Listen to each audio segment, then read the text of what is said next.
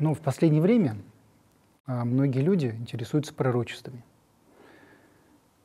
Ну, конечно, возможно, а, пророчества волновали людей всегда, в любую эпоху.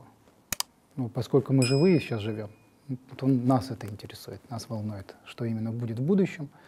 Ну и, конечно, а, люди верующие тоже часто обращаются к Священному Писанию, выискивают разные пророчества, какие-то даты, чтобы знать в будущем, что будет.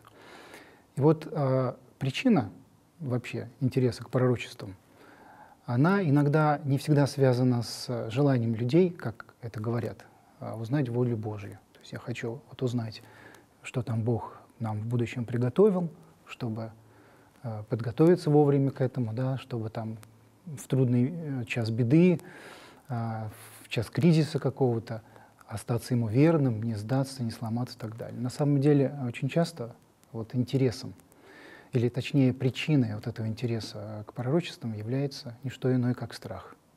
Вообще просто наша человеческая тревога. Даже иногда слушая ответы людей, когда я спрашиваю верующих, ну, людей спрашиваю верующих, спра... а, и говорю им, ну вот э, что, вот что, почему вам так интересно вообще знать прям так досконально, подробно, дотошно, что там случится, что произойдет, да?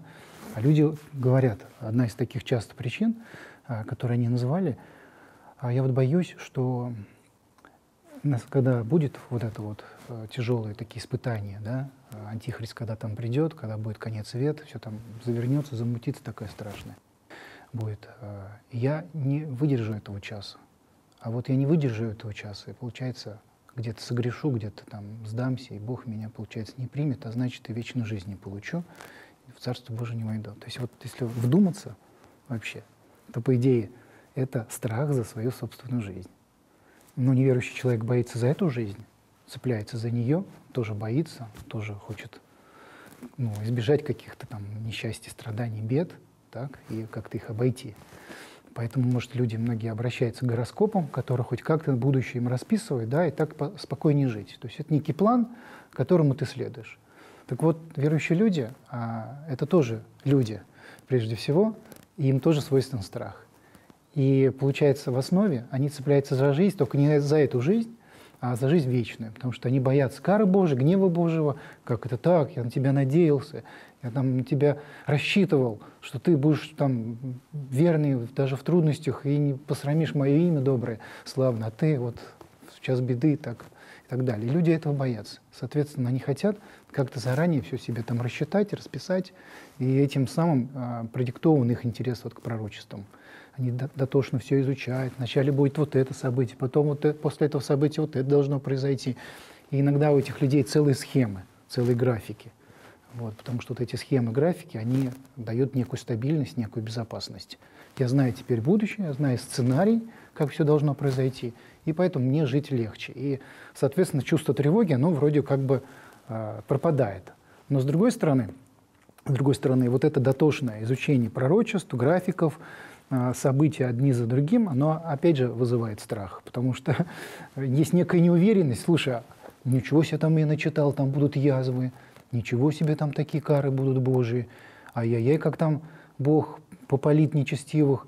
И тогда человек думает, слушай, а, а я вообще как-то вот, ну, не получается у меня всегда-то по Божьей жить и тому подобное, да? И поэтому человек опять возникает страх, опять начинается тревога от этих всех пророчеств, и получается такой замкнутый э, круг. С одной стороны, человек изучает пророчество, чтобы избежать э, страха некого, знать будущее, а с другой стороны, это страшное будущее начинает его опять пугать, и вот такой идет цикл.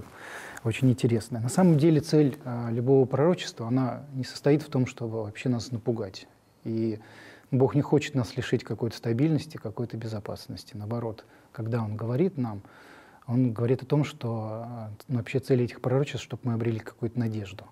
Вот. И в книге Иеремии, в 29 главе, в 11 стихе, как раз а, Бог, обращаясь к израильскому народу, который, кстати, находится в очень тяжелой ситуации, потому что должен будет пленен вообще э, языческим народом, и это страшная катастрофа, которая должна случиться. Вот Бог а, через Иеремию говорит о том, что только я имею а, намерение, да, только я имею намерение, а, вас, который, ну, который имея вас, да, намерение во благо, а не на зло, чтобы дать вам будущность и надежду. То есть вот цель а, когда Бог что-то предсказывает или говорит заранее, именно для того, чтобы вообще нас успокоить. Он хочет сказать, что я управляю историей, я рядом с тобой. Я знаю, что трудности, которые могут произойти, но я буду с тобой в, эти, в этих трудностях. И здесь главное, скорее всего, человеку не изучать дотошно пророчество, что там будет и так далее, а, скорее всего, для человека очень важно обрести Бога, а, Бога настоящего, а, Бога, который с ним в любой час, э, минуты жизни. И в радости он с ним, и в испытаниях различных. Это Бог, на которого можно опереться, Бог, который скажет тебе в трудную минуту, предупредит тебя о каких-то опасностях и поможет тебе их преодолеть.